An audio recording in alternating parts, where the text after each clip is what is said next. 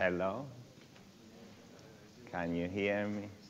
Is it working? Is it on? Is it on? Should I put it higher? Put, put a little bit up. Mhm. Here, what about this? Yeah. All right. Uh, so, what are we going to do today? Today, we are going to continue the discussion of uh, the discussion of fluctuations, quantum fluctuations during inflation. Uh, so we started the discussion yesterday, and we derived the the two-point function uh, two-point correlation functions for the scalar fluctuations and tensor fluctuations, which we call zeta and gamma. Um, so now we want to talk more about it and talk about the uh, uh, the observational constraints on these predictions of inflation. Uh, but I wanted to, so let me start from something that I didn't emphasize very much yesterday, which is that uh, I, uh, I discussed this particular choice of gauge uh, in which the, we chose uh, time, time slices, constant time slices to be surfaces of constant inflaton. And then we define uh, some scalar perturbation called zeta in this particular gauge. So let me uh, talk a little bit about uh, why, uh, why this is a good choice, or why this zeta variable, which is defined in this way, is going to be the quantity that is conserved. Of course, uh, we, we can just verify this by brute force. We saw that if we choose this particular gauge and plug it in the action, then we find uh, an effective action for zeta and gamma variable, which all, always have derivatives of these variables. And therefore, they outside the horizon, they do not evolve. They don't have any mass term or potential. But it's good to, it's, it's good to have some intuitive idea of why, why this is the case, or why, how we came up with the idea of choosing this particular gauge. Um, so we want to ask uh, why is uh, zeta dot equals zero? And by zeta dot, I mean zeta dot outside of the horizon. So maybe I put a subscript L here, which means that it, we are considering a super horizon fluctuation. Uh, so let's uh, let's again draw this picture. We, saw, we said that we are going to choose slices which are which corresponds to constant phi. So we choose this as a, as a, as a time slice. Uh, let's see what do I want to call them. Let's, let me call um, this phi star and this phi f. Say we want to go and. Um, and phi star is the time at which some particular k mode that we are interested in is going to cross the horizon. Uh, so this corresponds to some k eta star equals to 1. Um, all right, so uh, we want to imagine that we have some, uh, and let us also remember how the metric looked like in this case. So in this case, by definition, we have phi uh, phi of t and x is just a uniform uh, function of time given by the background field. And then the metric looks like uh, this.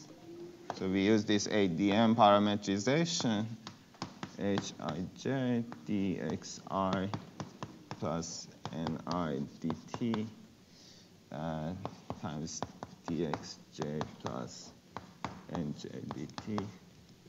And this hij was uh, a squared e to the 2 zeta times uh, delta ij, the Kronecker delta, plus gamma ij, the tensor fluctuations.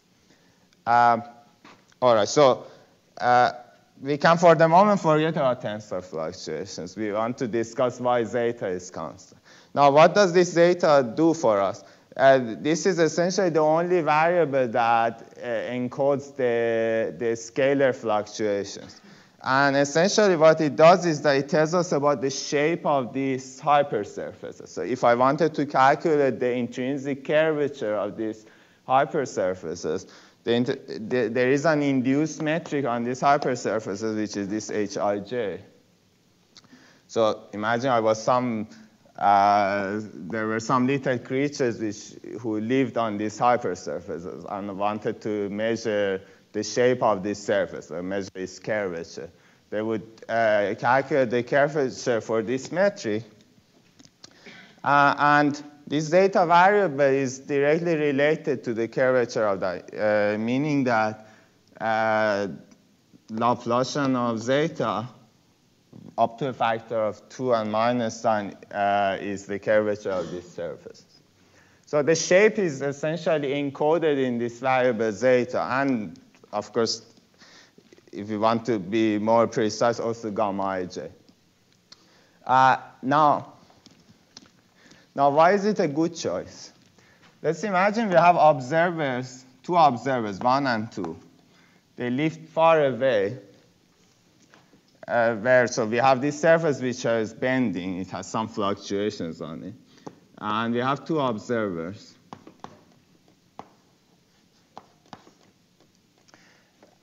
And these observers, what they do is that they measure, uh, they do local physics. Like imagine we, for instance, we have uh, telescopes that measure Hubble parameter.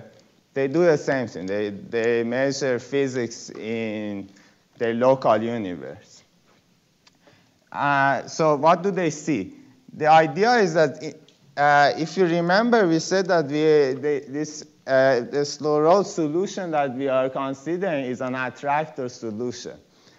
Uh, the property of the attractor solution was that once I determine phi, I also know phi dot.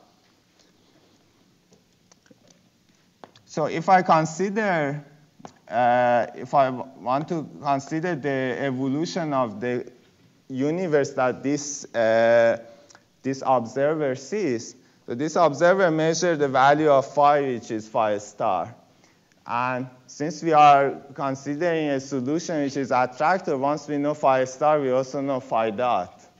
And everything, uh, essentially, that fixes all, uh, since we are just doing a single field inflation, this fully fixes our uh, cosmology, or the local cosmology that this guy is going to measure. Uh, this one is also measuring phi equals phi star. And therefore, again, because we are an attractor, it, he will measure the same local cosmology. So if these uh, two observers have some history books and they record what they measure, like the local, for instance, the Hubble parameter that they measure. Imagine, for instance, they have a Hubble telescope and they measure the, the Hubble parameter. They will see identical histories. In particular, they see identical h of t. Can I turn on? Thank you. Um, they see identical h of t.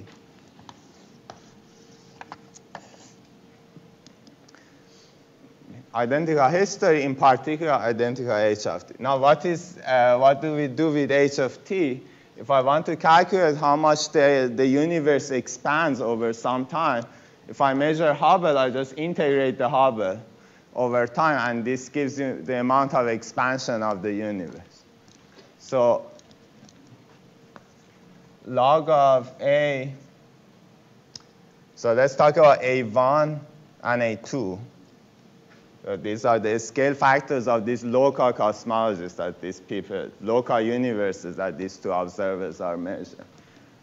So log of A1 of TF divided by A1 of T star is equal to log of A2 of TF divided by A2 of T star, and it, both of them are equal to integral of h of t from T star to TF.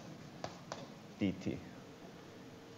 Now, the fact that these ratios are equal, that's equivalent to saying that zeta of t final is equal to zeta of t star. Because if these expansion rates were different at these two points, then the shape of this surface would change. For instance, it would become like this.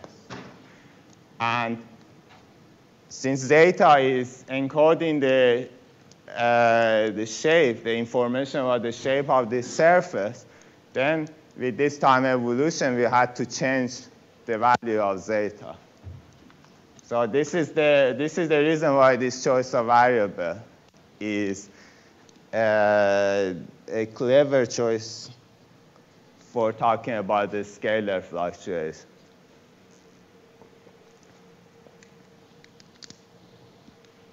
Okay, so now with this choice, what did we what did we get? We get we got uh, uh, we got we found the statistics of this zeta variable. So we said that if we have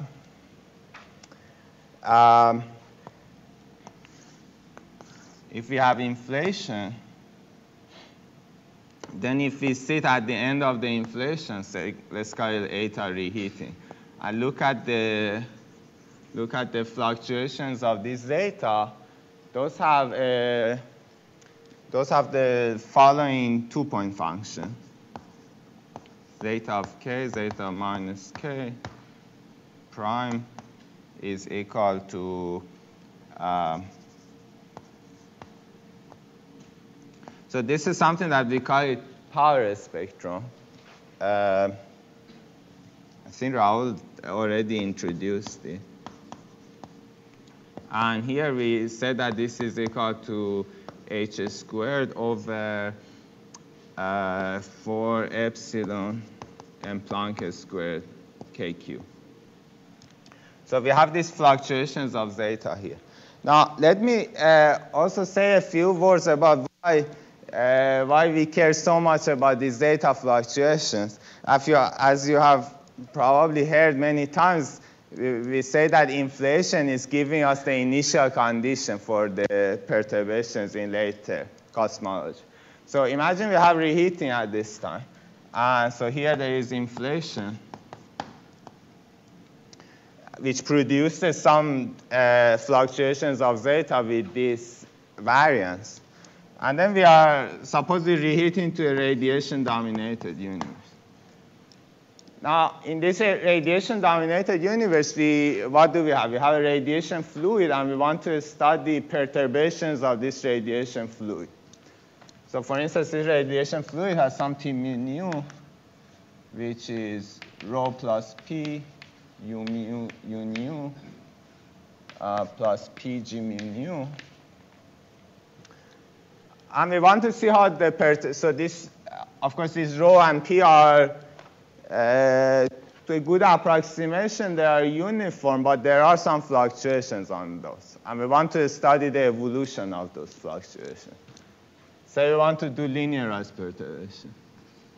So we want, for instance, we are interested in delta rho over rho and v, the velocity. Uh, it's also convenient to work whenever we, we want to study fluctuations inside the horizon. There is a, there are more convenient choices for the gauge, like for instance, Newtonian gauge, as it uh, uh, as you can guess from the name, it's Newtonian gauge because it makes it easy to make connection with Newtonian gravity. So when gravity is weak, that's a good choice of the gauge. For instance, you have you explicitly have, have the Newtonian potential, and that Newtonian potential, if we are in radiation dominated, it, it decays. If we are in matter domination, it's constant linear level. So there, is a be- there are better choices than this gauge choice when we are here.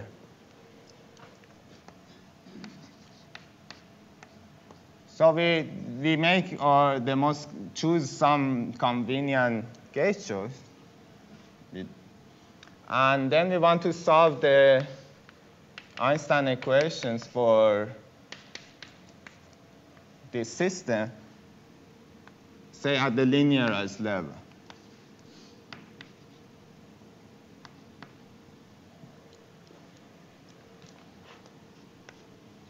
Now this is a this is a standard problem. You uh, you can find the system equations that you get in many textbooks.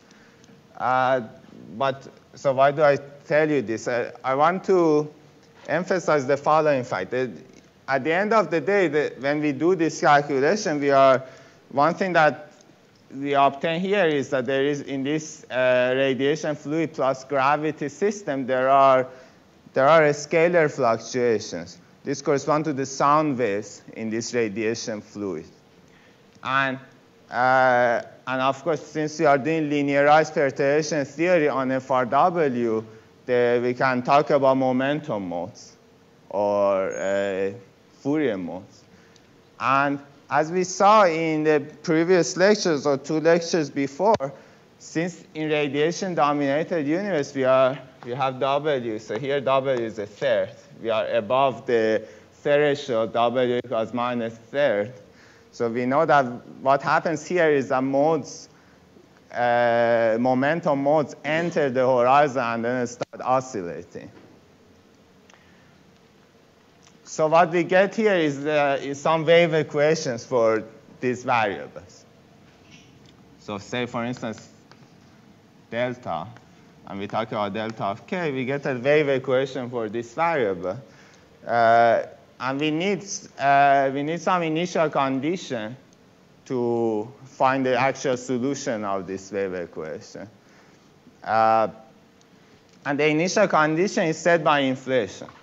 So uh, what we do is that we take the, this system of equations and then we match it to what we obtain by calculating uh, what we obtain in inflation for the superhorizon fluctuations of zeta. So there is a very simple way of converting from this gauge,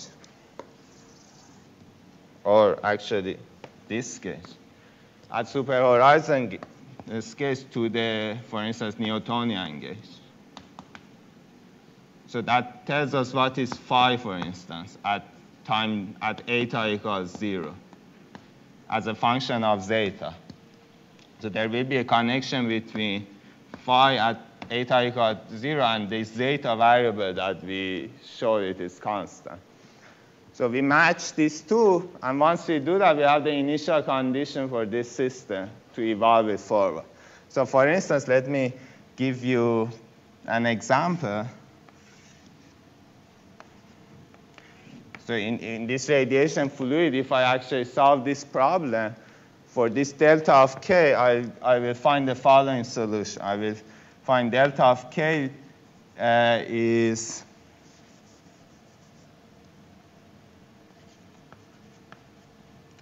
it starts from a value which is minus 4 thirds zeta of k, and then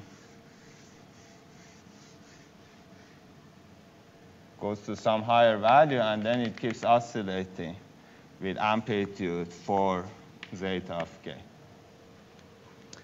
And this point, when it's the, the so this is zeta of k as a function of eta, the conformal time. Um, and the wavelengths, so these are asymptotically, this is something like minus 4 zeta of k cosine uh, Cs k eta, where in this radiation fluid Cs squared is just one third. And so as you see, the, the, the wavelength of this oscillation is 1 over CSK. So this is something of order 1 over CSK. So that's why we care so much about uh, this power spectrum because it gives us the solution that the solution for these wave equations in the subsequent phases of the universe. Now, this is a very interesting plot. This is essentially a cartoon version of the CMB uh, uh, baryon acoustic oscillations that we see. Uh, and there is a very crucial fact that we can see this acoustic oscillation, and that's the uh, and the reason for that is that all of the K modes that we consider, they all start with this, they all have the same phase. So in principle, if we were solving this wave equation, uh, at times we would have this cosine solution. We could imagine that maybe there is some mechanism that produces fluctuations in this radiation fluid. And those fluctuations propagate with this, they have this cosine form. However, unless all of these different modes have the same phase, which is zero, then on CMB, we wouldn't see these oscillations. Those phases would be washed out, and we would just see some average. So the, the fact that we saw these peaks in CMB, that was a, a very strong indication that the fluctuations that we see are coming from superhorizons. The initial condition is set at superhorizons. That's probably another uh, another uh, uh, evidence for for inflationary models, which is not the level of the level of its prediction for the fluctuations. Um, all right, is there any question so far?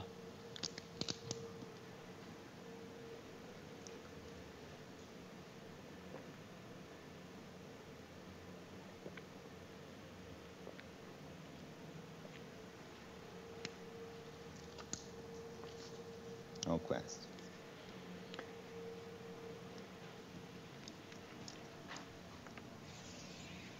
Sorry, what, what is the origin of the different that are important?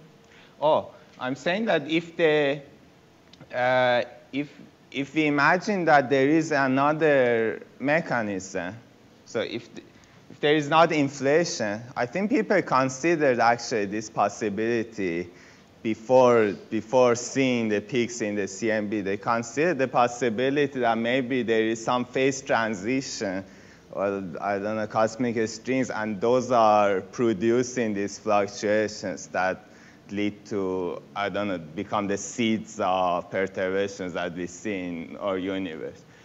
Uh, so even if, even if such a mechanism could work, it's uh, unimaginable that it produces fluctuations in exactly the right phase, all of them with the same phase so that we see the acoustic peaks. If they had, if these fluctuations were produced with random phases, then the acoustic peaks would be washed out. But if the fluctuations are primordial, then uh, the, uh, the, that uh, primordial or origin uh, automatically sets all of the phases to be fixed. Basically, this is the the fact that here the derivative of this function is zero is, uh, uh, is forced by the fact that we want them to be super, uh, to be primordial, to be to come from super horizons. And what happens if you have two fluids, like you have photons but also neutrinos? Uh huh. Then can you have different phases for these two fluids, Um, or they're all the same? uh, if I have two fluids, um.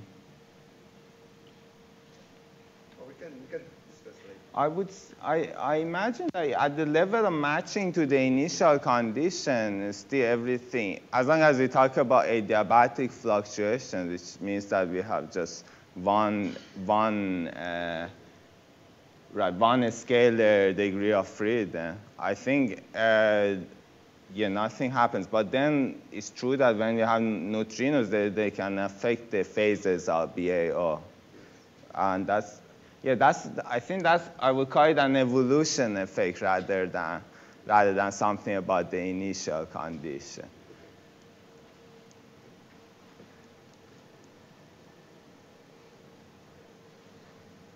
Other questions?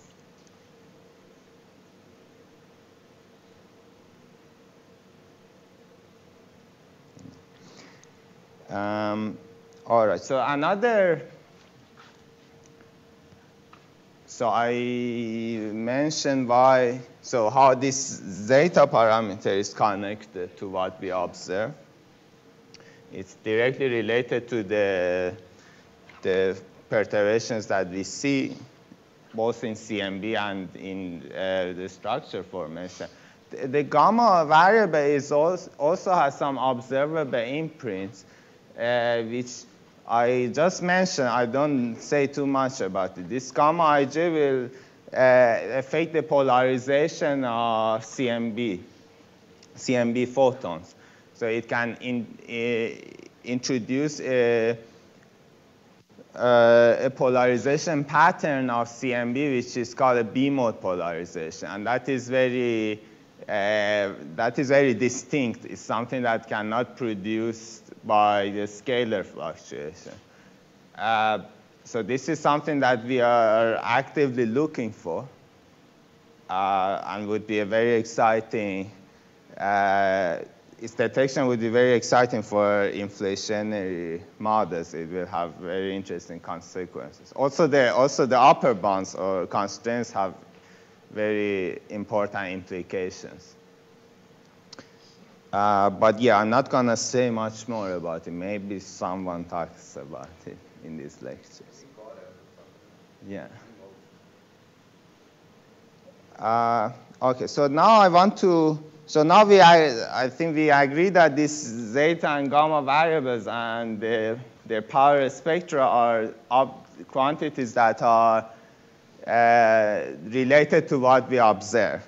Uh, so I want to extract a few more uh, or define a few other variables or quantities that are more directly connected to what uh, experimentalists talk about or give, they give plots in terms of.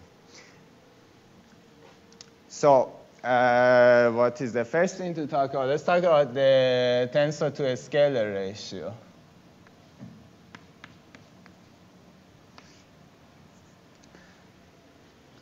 Or, well, before that, I should, of course, say that the first thing to see is the amplitude of this fluctuation. So we measure, for instance, the amplitude of uh, CMB temperature fluctuations. So that's the first thing.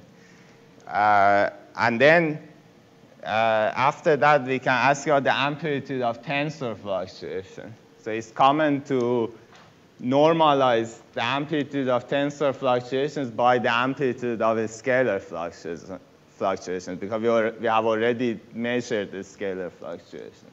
So that is something that is called R. Well, effectively, because it, uh, it turns it into a, an order one or, I don't know, order percent uh, quantity.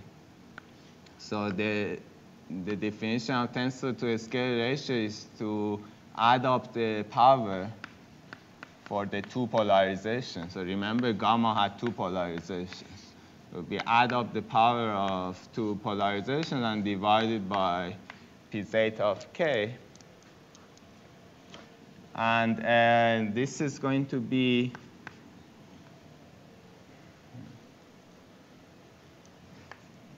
sixteen epsilon.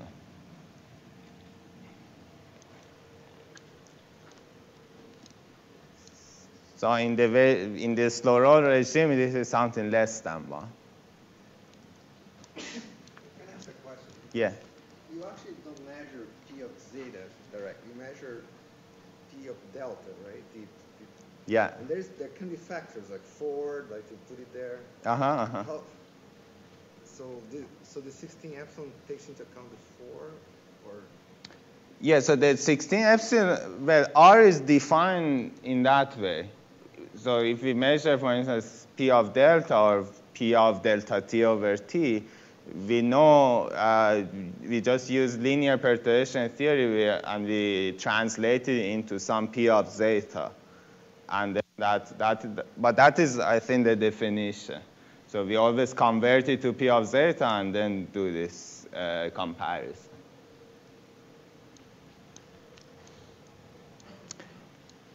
Um, yes. So for instance, here I, so here for instance we saw what how we do the com, com, comparison or conversion. We we might be measuring delta rho over rho the fluctuations in temperature or in the energy density of our fluid, but that delta rho over rho has a simple connection, or the amplitude of that delta rho over rho has a simple connection to primordial fluctuation zeta. Here, for instance, inside the horizon, the relation is just minus 4. So once we measure it in terms of delta, we translate it to zeta and then do the comparison. Uh, so yes, so the, we get. This is less than 1. Uh, how much less than 1? For instance, we can consider the, uh, our favorite model of inflation, m squared phi squared. And if you remember in m squared phi squared, in order to get the 60 e-folds of inflation, we, uh, we, we needed well, first of all, in a square phi squared, we, we derived a relation for epsilon.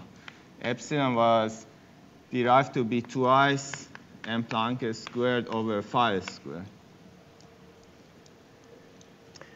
And uh, we saw that if we want to get uh, 60 e-folds of inflation, then phi should be awarded 60 m Planck, 16 m Planck.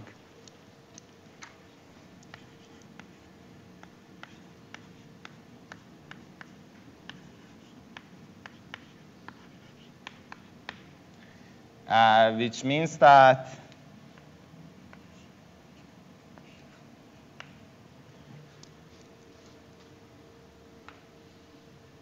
which means that R in, so I can just plug this in here, uh, gives me R for m squared phi squared inflation to be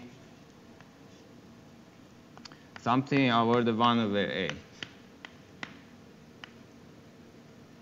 Not over the uh, approximately 1 over 0 0.12. So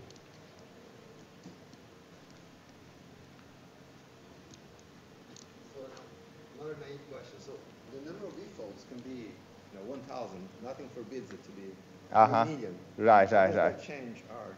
Oh, uh, yeah, so actually here I, uh, I was a little bit sloppy. Uh, this comparison should of course be done at the scale that we are measuring, measuring uh, quantities. So uh, I, I should have put some K star here. And K star corresponds to the momentum at which we are doing this, uh, doing these measurements. Uh, and therefore, if we do that, then now if we look at the expression for the power spectrum, both for zeta and gamma, uh, there is k dependence in it. Or in fact, that is that uh, naturally leads to the discussion of the tilt, uh, which I wanted to talk about. So we have p zeta of k and p gamma of k. And if you remember, p gamma of k was twice h squared divided by m Planck squared times k cube over k cube. Uh, now, these expressions were derived assuming that h and epsilon are constant.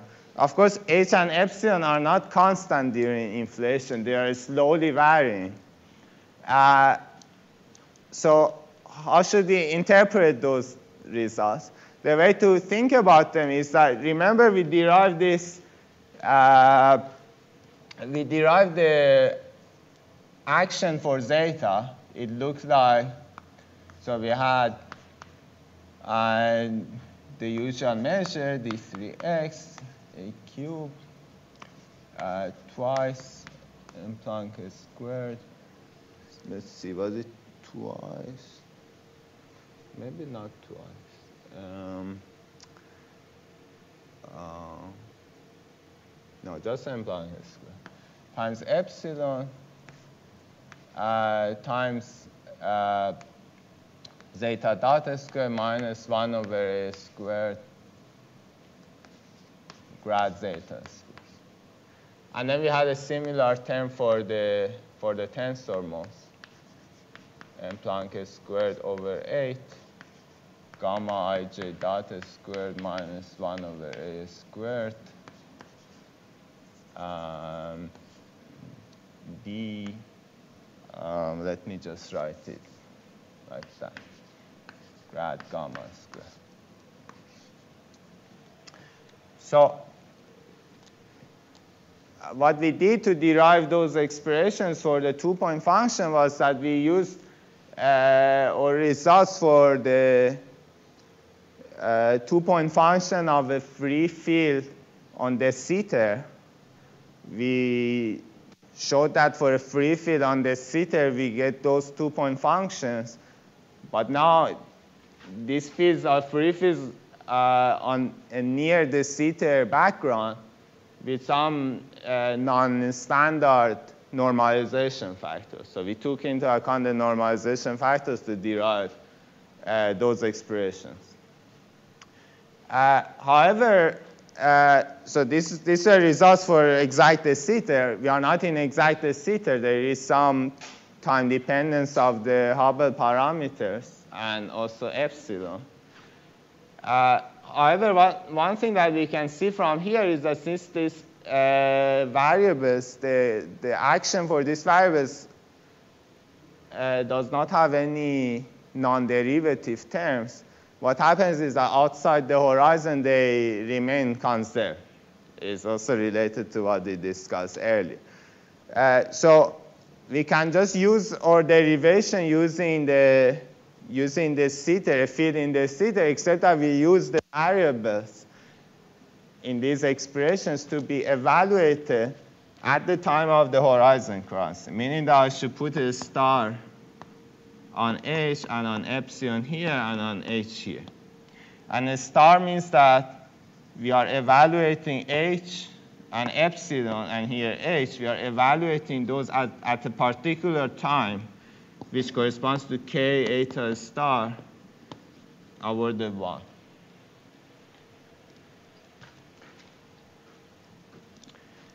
Okay, so once, so what does it imply?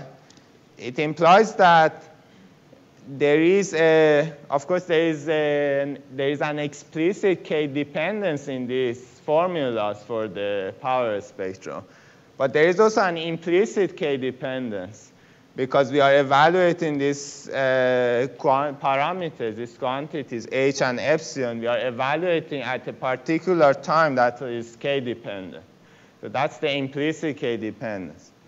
And uh, that is important because, so for instance, when I talk about this ratio or when we talk about the amplitude of fluctuations, we, we are talking about observing a particular set of momentum modes.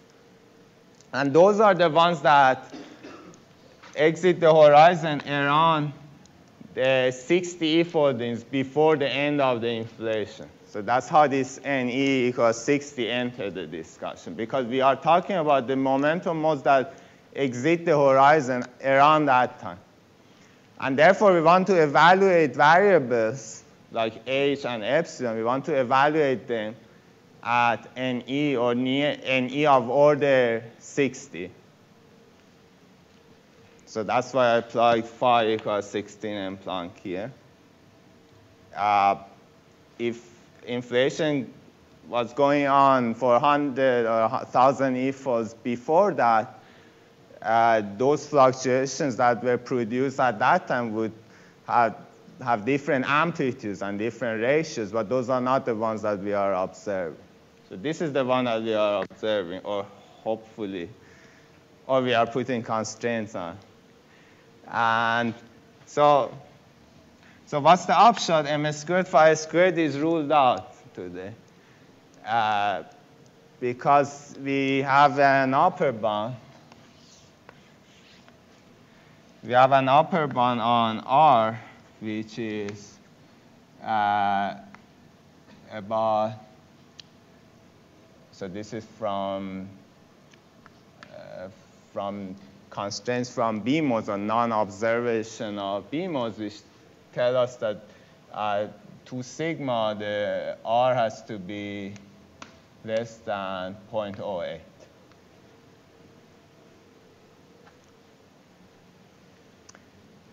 Uh, so yeah. Now similarly, we can apply this. Uh, we can ask the same this question obviously for different models of inflation, like different potentials. Uh, and then you see, now I'm going to talk more about them. Uh, you will see that there, these constraints have, have consequences on what, which models can be viable for our universe, uh, describing our universe, and which models are not anymore.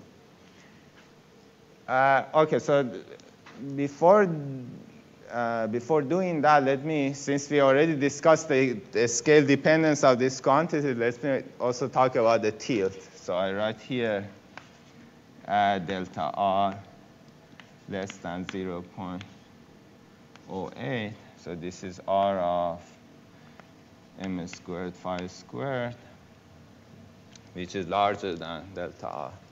So let me erase this and also introduce the tilt, which is exactly what I uh, was mentioning. So tilt, uh, let's first do a scalar. Uh, is there any questions so far?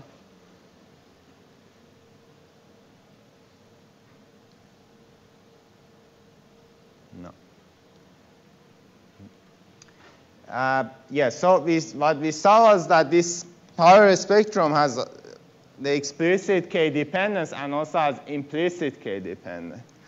Uh, so tilt is uh, basically the question of what is the K dependence of this power spectrum. Uh, it is uh, conventionally defined, so tilt is NS. NS minus 1 is defined as derivative with respect to log k of log of k cube zeta of k. So this is the tilt for, for a scalar fluctuation. Now, let me just tell you why, why there is this weird ns minus 1 here.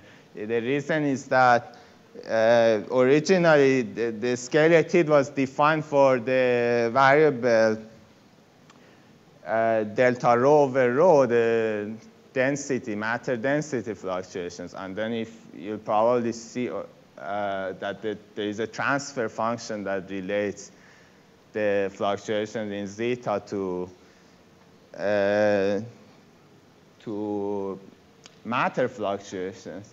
So originally it was defined for P of uh, delta, and then at, at very large scales that P of delta is related to K to the fourth time P, times P of zeta. So this minus 1, if you bring it here, it becomes K to the fourth times P of zeta. It will be really just tilt of that P of matter fluctuations.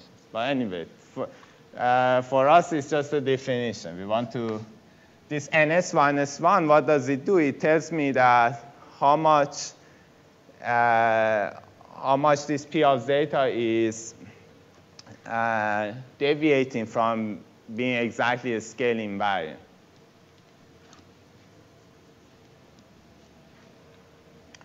Um, so this derivative is d by d log k of log of, so this k cube cancels the explicit k dependence log uh, derivative of uh, the log of that expression, I can drop the constant parts because they are inside the logarithm. So what I have here is h star squared divided by epsilon of h star. And again, the k dependence comes from the fact that I'm evaluating them at a particular time. So this d by d log k is just minus d by d log eta, eta star. And that, the, that derivative can be related to a time derivative. So minus d by d of log eta is 1 over h d by dt.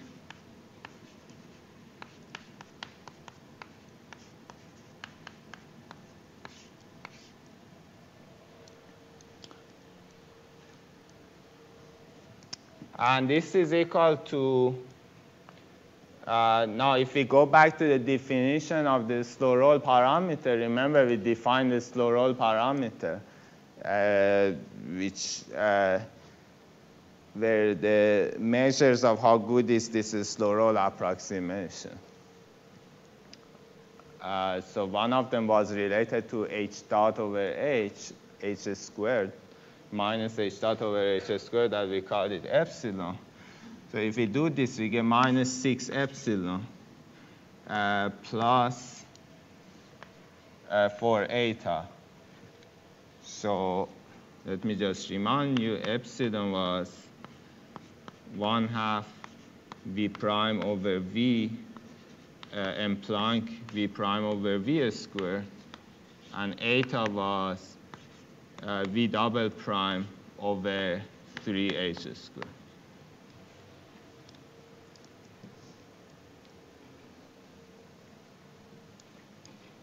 And again, we saw that if we take some, for a given potential, we can calculate this tilt. Sorry, we can calculate this epsilon and eta parameter, and therefore we can calculate the tilt.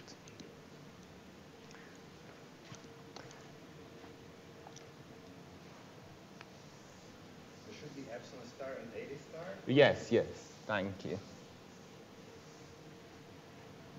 Yes, everything is evaluated at the same time.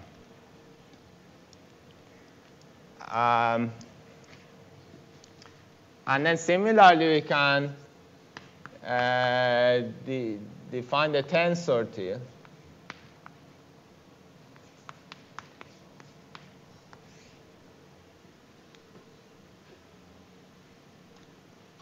Now this one, the, here the conventions is more natural. So this, this is just nt is defined as d log k of log of k cube p gamma. Okay. By the way, not everyone is following this convention for instance, I think if you are looking at Maldacena's paper, he just takes, doesn't write ns minus one. So his definition of ns is this. Um, but I think this is the most standard convention.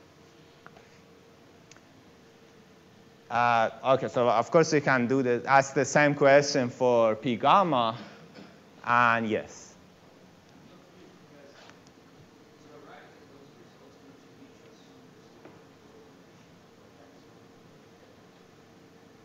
Uh, don't I need to assume a slow roll condition? Yes.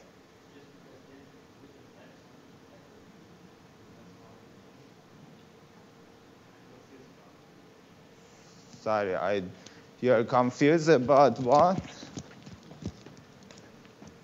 Thinking that to arrive at that form for the power spectrum of scalar perturbations, you have to assume uh, slow roll. Yes, right? yeah, we assume that. Uh-huh. Uh, given that you have shown that it's related to epsilon and eta in this uh, star conditions. So wouldn't then uh, already be much more under one and then an S would be close to one? Oh, oh uh-huh, uh-huh, yes. Uh, yes, so uh, we are we are working in the slow roll approximation. So this epsilon eta are small parameters. Epsilon eta are both less than 1, which means that this whole quantity is much less than 1. And yes, it's true, and S is close to 1.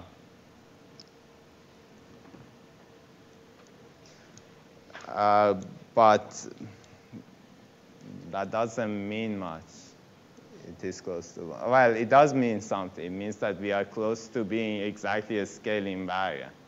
So scale invariant here means ns equals, exactly scale invariance means ns equals 1. So then, given some potential, you're trying to compute what's the deviation from one. Exactly. Right, yeah.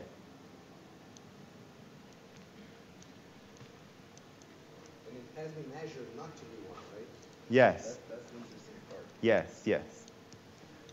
Yeah, I, I draw some plots in a moment. uh, so, yeah, so we can do the same exercise here and we get, uh, so here is easier. The only, this, the only scale dependent quantity is going to be h squared, h star squared, and that gives us minus 2 epsilon star. Uh, note, by the way, that this uh, nt is equal to, so let's compare it with this expre expression. Now here there should also be a star. Uh, this nt is uh, minus 1 over 8 times r.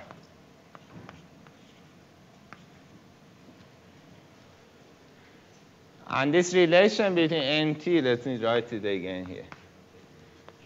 This relation between nt and r is sometimes called tensor consistency condition. So it's just relating to, if we happen to measure tensor modes, uh, and we also uh, observe the tilt of the tensor power spectrum, then uh, they, are, they have a very model independent relation. That's why it's called consistency condition, uh, because it doesn't depend on details of the inflationary model that we are going to write. It's a very robust prediction of mod, uh, models inflation. Although I should say that, uh, as I already mentioned yesterday, inflation is a, is a paradigm. There are many different models of inflation uh, almost any prediction of inflation can be changed in some, some model of inflation. But there are more, uh, more standard models or more minimal models of inflation, uh, which have a set of more robust predictions. And then you can go away from those models and start changing one prediction or the other. As a result, it's hard to rule out inflation. In general, it's hard to rule out a paradigm. Uh, what happens is that uh, if you keep, uh, well, we, we don't keep, but if you start seeing many things that do not agree with the predictions of the simplest models, if you need to keep uh, making it more and more contrived, then you would probably start looking for alternatives. And maybe one day you find a better alternative.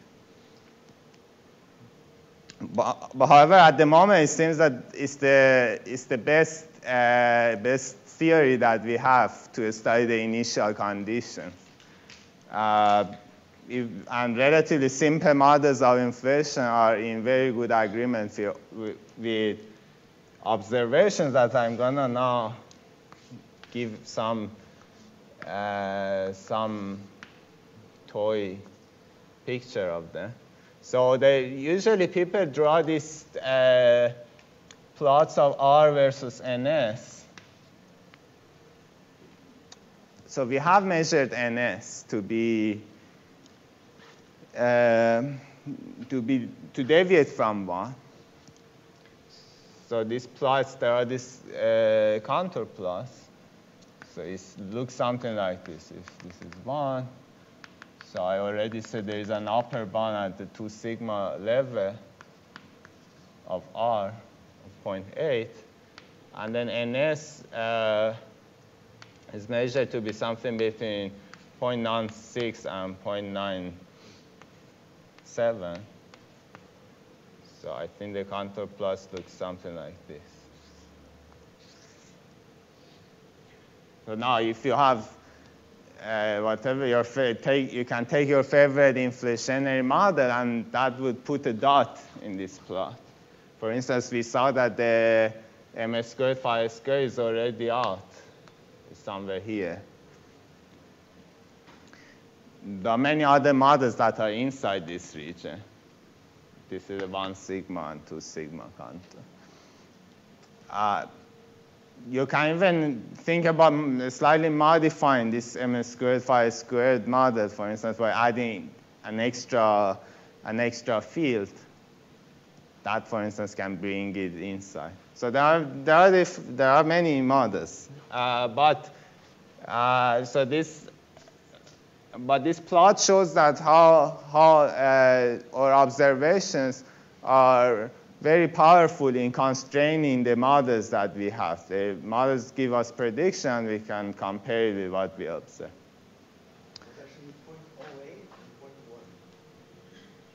Oh, sorry, yes.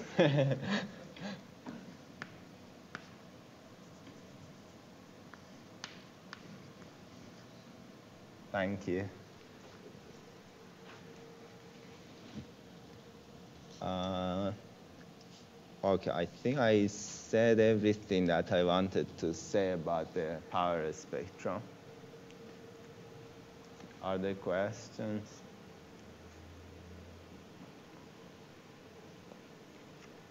Yeah. The lower one is m squared phi squared. Oh, these curves? No, no. These curves are these curves are one sigma and two sigma uh, constraints Uh, m squared. So any model of inflation that you consider, that gives you a point in this diagram. So m squared phi squared has a particular prediction for r and particular prediction for ns, and now it happens to be outside the 2 sigma contour. That's why I said that m squared phi squared is ruled out.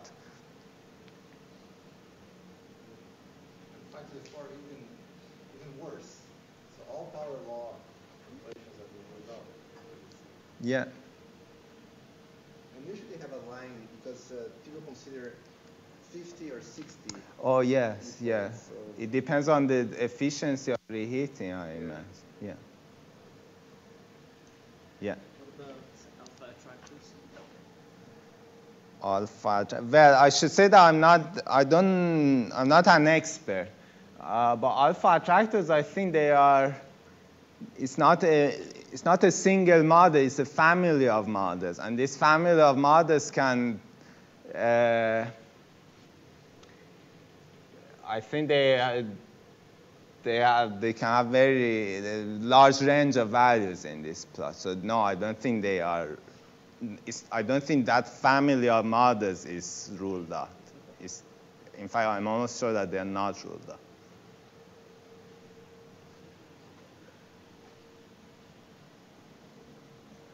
Yes. Sorry, repeat. You said there are a lot of models inside the allowed region. Yes.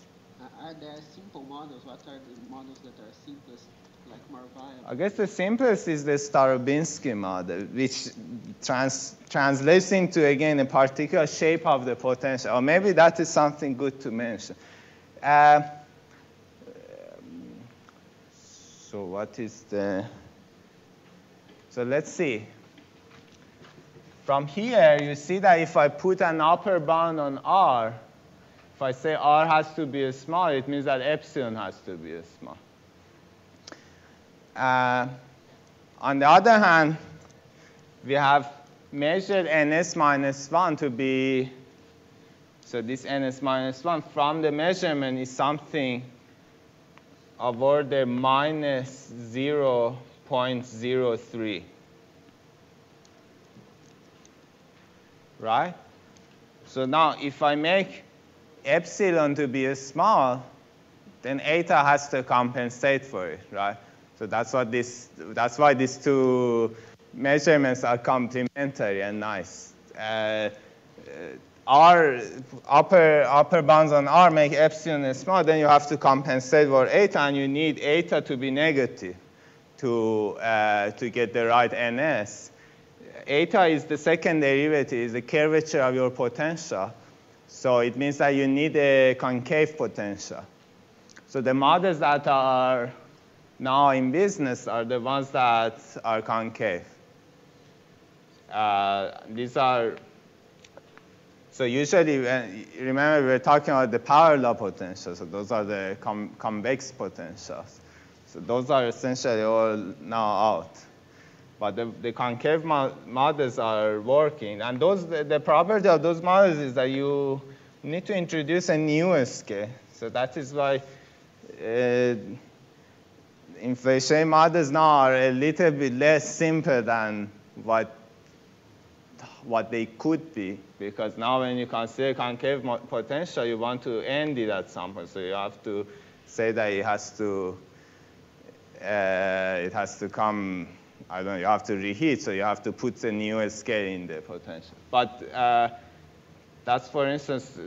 Uh, so there are there are these, these small field models that that give predictions in here like a Starobinsky model. So these are potentials that do have a scale in them that tells you uh, that you, they have a plateau, but then at some point, because there is an explicit scale, the, the plateau ends and you reheat.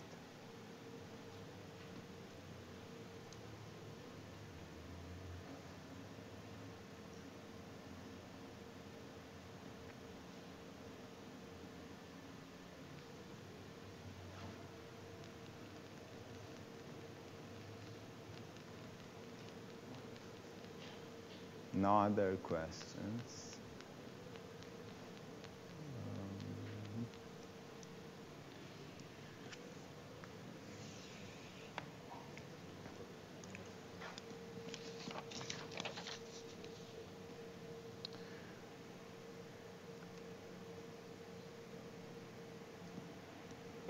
Okay, so then I, I start talking on Gaussianity.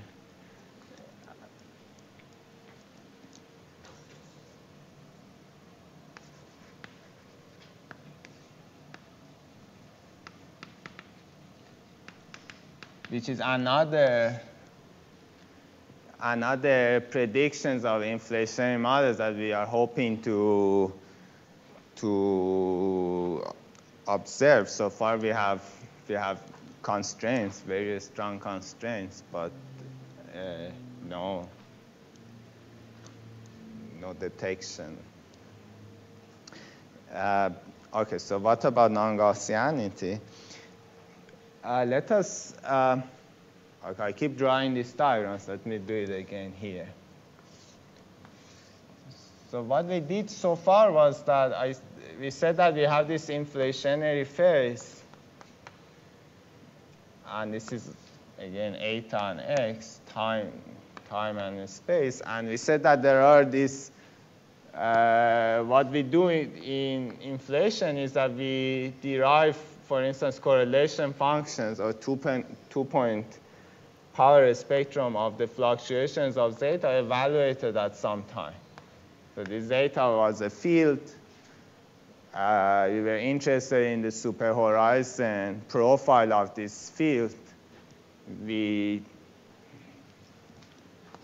some zeta of x and eta r, the reheating time we went to the Fourier, to the momentum space, and then we calculated the, the two-point correlation function, the, essentially the variance of this. Uh, now, let us, uh, yeah, maybe we, uh, it's useful to think a little bit more deeply what we did. Uh, so what we were here we were talking about the quantum fluctuations of this field that lives in the curved spacetime, in near de Sitter spacetime. Uh, so of course, when we talk about quantum fluctuations, we, uh, we, those quantum fluctuations can be or are described by a wave function.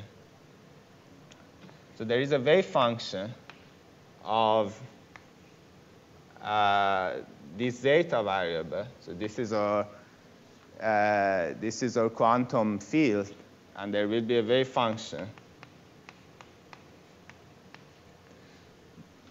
There will also be gamma, but for the moment, let's focus on zeta, given that we already saw that r is small.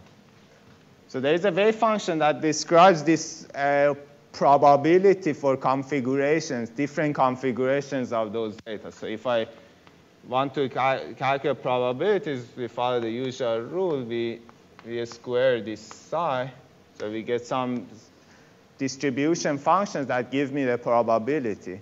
And now, how do we use the distribution function to calculate the cor correlation function? We just integrate it. So for instance, let us go back to the harmonic oscillator.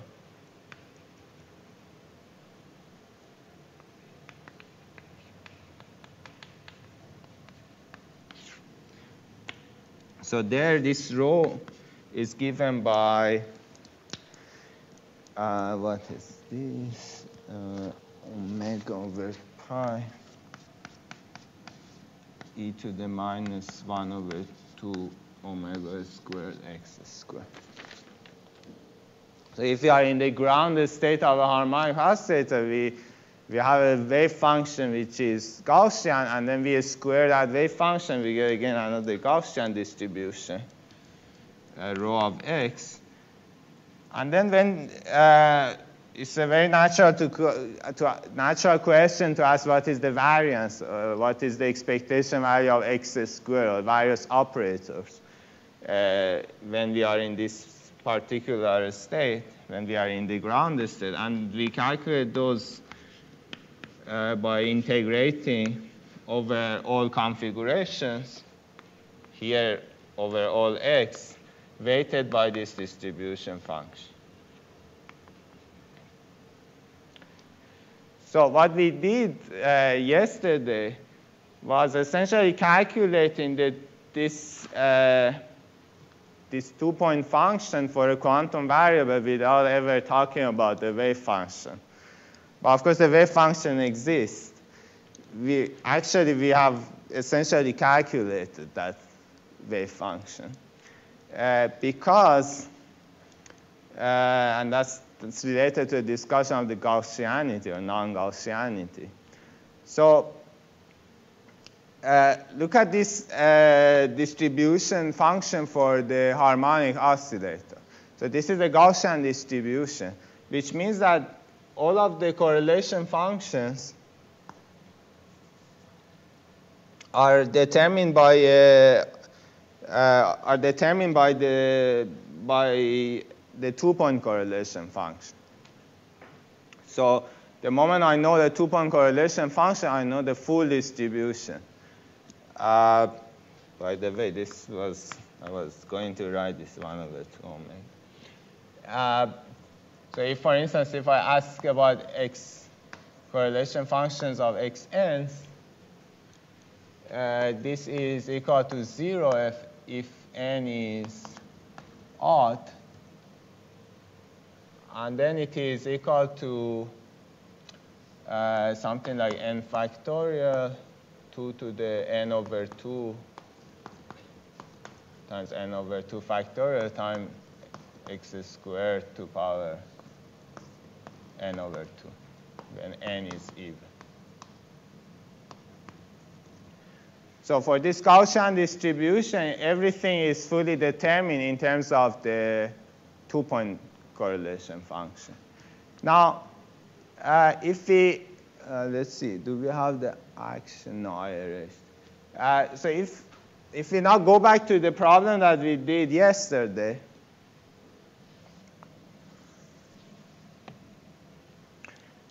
uh, so first we consider just the free field uh, in the in the in de Sitter space.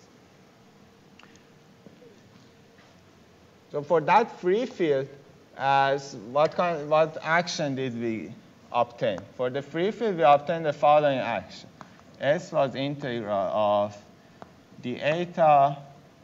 Oh, by the way, also, when we had this free field, we went to the momentum space. And we saw that in the momentum space, different momentum modes decoupled from each other. So essentially, a free field uh, translates into a, a set of uh, free oscillators. So let's go to the momentum space, the eta d3k. And now if we, if we remember the action is going to be 1 over 2 h squared eta squared times uh, phi k prime squared minus k squared phi k squared. So for any k mode, I essentially have, an, have, have a harmonic oscillator. So if we want to do the mapping, phi k prime goes to x dot squared and k, k squared goes to omega squared and phi k goes to x. So every one of these phi k's is like a harmonic oscillator. Uh, the only difference with this problem is that uh, this harmonic oscillator has a time-dependent mass. So that's why the answer that we got is different from the answer for the harmonic oscillator. It made the qualitative difference. This time-dependent mass made the qualitative difference in the distribution function when k eta is less than 1. So this is, this is this time-dependent mass, right? If we want to do this mapping uh, to the harmonic oscillator, then mass would be 1 over h squared eta squared. So it's a mass that at late times it goes to, goes to infinity, exponentially fast. But in any case, uh, the, the, the wave function that we are going to get for this system is again going to be a Gaussian wave function, meaning that uh, once we know the two-point function, we actually know the full uh, distribution function rho, the modulus squared of psi. So I can just write it down here. Rho of phi of k uh, is up to some field independent uh, normalization factor is uh, given by so there is some field independent normalization factor times exponential of minus integral d3k uh, 1 over twice p of k. This p is the power spectrum, is the which we define there. P is just the normalization, the two-point function when I take out the delta function. And then here we get phi k, phi minus k. So effectively what we did yesterday was to calculate the, the Gaussian distribution of a free field in de Sitter. And then we said that if we consider this action for uh, zeta and gamma, they, and we go to momentum space, there will be a quadratic piece of this action which looks very similar. And then we calculate the, the widths of those.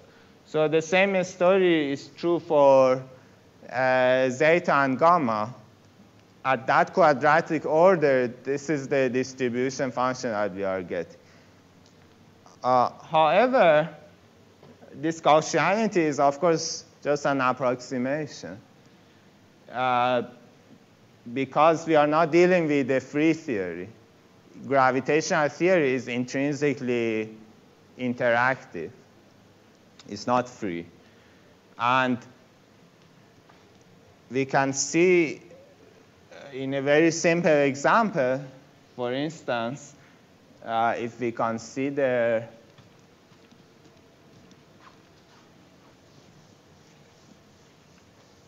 if we consider our harmonic oscillator but add some non-quadratic term to its Lagrangian, then we can easily see that the ground state wave function of this interacting theory is not Gaussian anymore.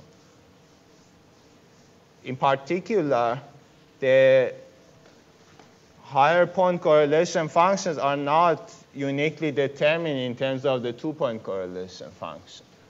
There will be, if we just, if we are just going to measure the correlation functions, we will find new information in the higher point correlation function. So say we consider L equals 1 half x dot squared minus 1 half omega squared x squared minus, say we add a lambda x to the fourth term in here. Uh, then uh, a very useful exercise is to calculate the, the expectation value of x to the fourth in this model. And see that this is, uh, there is a, an additional contribution to this expectation value of x to the fourth, which is not the ones that I get from the, from just two, two point function. So that difference is usually called the connected four point function. So I will get a disconnected contribution.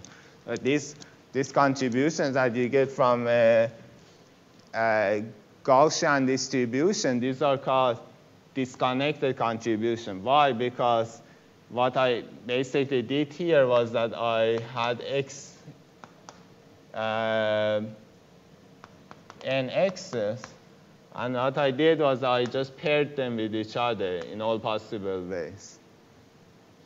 So it factorizes into a product of a bunch of disconnected uh, terms, a, a, bunch of two-point functions. While here, when I calculate uh, the correlation function for x to the 4, there will be an additional term. Uh, now, as a matter of principle, so now the, the problem that we are dealing with here in the case of fluctuations during inflation is very similar conceptually. Uh, we, we derive an action for zeta and gamma. So there are parallels. We derived an action for zeta and gamma, so there was some second order action. It looks kind of similar to the second order part here as we saw there. Uh, but there will be, there will naturally be higher order contribution, S, S3 and S4 and so on. Why? Because just the gravitational theory is uh, nonlinear, intrinsic. So once you have these nonlinearities, uh, as long as they are not very large, in some appropriate sense, uh, we can calculate the contribution of those to the correlation functions in a perturbative fashion. So here, for instance, how, how would I do that? Here the, we, we have a machinery to do that. If we want to calculate uh, this uh, expectation value of x to the fourth, we, uh, we, have the, we, we have the machinery of perturbation theory. So what do we do? We say that we want to calculate this. When I write this, I really mean calculating this expectation value in the vacuum of the interacting theory. So it's usually called by omega. Now, vacuum of interacting theory might seem something uh, hard to find. We knew how to find the vacuum of the free theory. I remember here we had a long discussion of to, how to choose the vacuum when we, have, we are dealing with this free theory. We had the positive frequency and negative frequency modes, and the vacuum was the one that is annihilated by the operator that multiplies the positive frequency mode. So we know how to choose the vacuum of the free theory. How do we find the vacuum of the interacting theory? Uh, for that, we have tricks, right? The trick is that we define this uh, evolution operator, say for instance from some time, sometime t to time zero. And then what we do is that we, we, we apply that uh, time evolution operator to the free theory, but evolve it for an infinitely long time along a contour that is slightly tilted in the uh, in the Euclidean time, in Euclidean plane. And what this does for us is that it projects the vacuum of the free theory into the vacuum of the interacting theory. But at the in practice, it's uh, no, at this level, it might sound a little bit uh,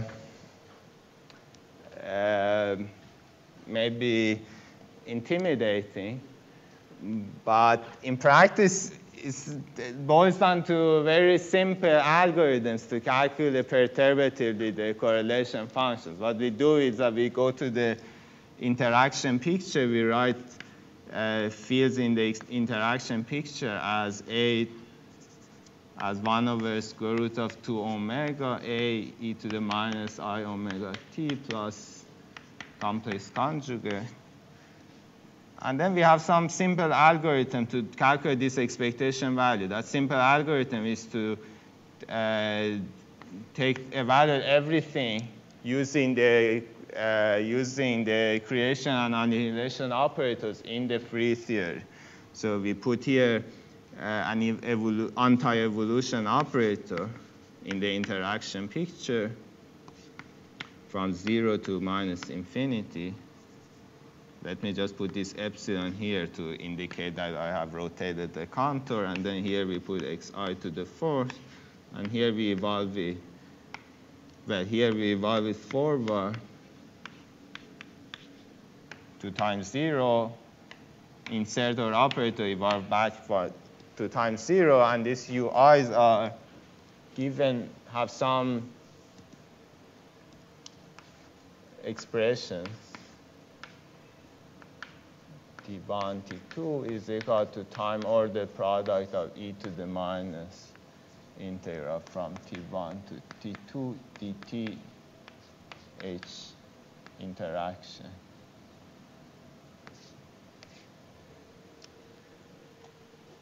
And so everything here is, uh, can be performed uh, in a perturbative fashion. So as long as this lambda is small, I can order by order in lambda calculate that x to the fourth expectation value. And a similar, an almost identical thing can be done in the case of inflation. If I find uh, this action which has cubic term and quadratic term, I can apply the same machinery to calculate these nonlinearities. Now, here, uh, I'm not going to do an explicit calculation because although it is, uh, it is a straightforward, it uh, takes a lot of time. Uh, in fact, probably I should stop now. How much time do I have? Zero? Okay. Uh, yeah, then I, uh, let me see, is it yeah, so I'm not going to do an explicit calculation here. Maybe I give some little exercise. Uh, but uh, I will talk about uh, some particular forms of non-Gaussianity uh, tomorrow.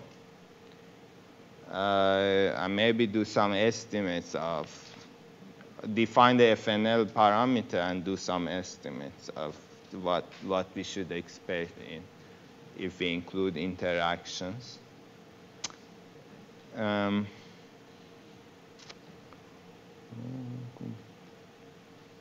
yeah, that maybe something to something that, or I can do even say that tomorrow. Okay, I stop here.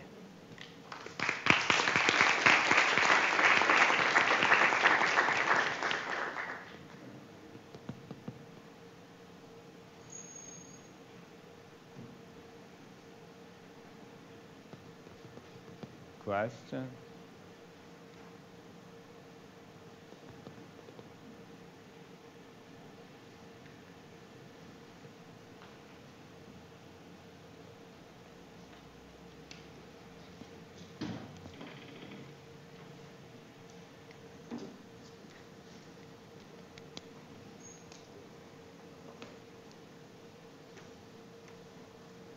Okay, thank you.